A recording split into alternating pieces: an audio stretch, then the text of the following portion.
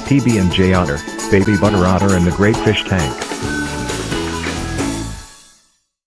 Baby Butter Otter wants to buy a new fish tank for his fish. He needs to find $5. Can you help him? Oops. Try again. At the beach, Jelly and Peanut Otter can't find very many coins at all. These are the only ones they found. How much do they have so far? Whoa. Baby Butter hit the jackpot. Digging in the sand, he found this much money. How much money did he find? Listen up. We first found 40 cents, then we found $1.10. Now we have $1.50. We still need $3.50. Let's go look around the old boat. Oh no. Try again.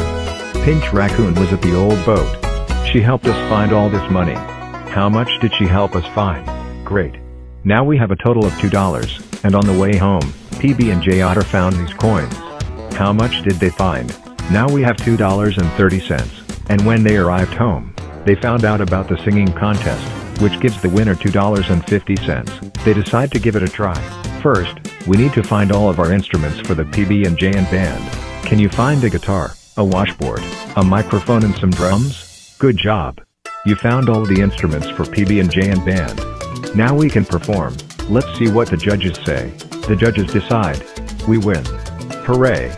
Now with the $2.50 and $2.30, how much do we have? Oh no! We're short 20 cents. Now, we can't get a fishbowl for Bubbles. Wait.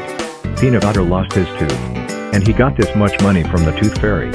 How much did she leave? 20 cents. Just what we needed. Now we can buy Bubbles his fish tank, thanks to you. Thanks for all your help.